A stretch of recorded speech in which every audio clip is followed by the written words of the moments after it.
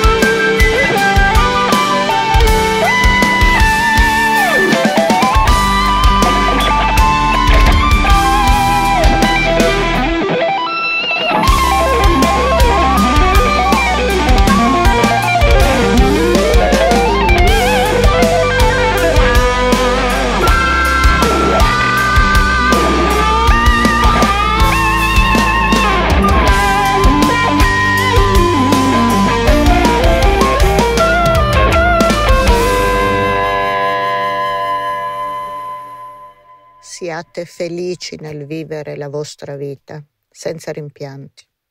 Gutta cavat lapidem, non vi sed sepe cadendo.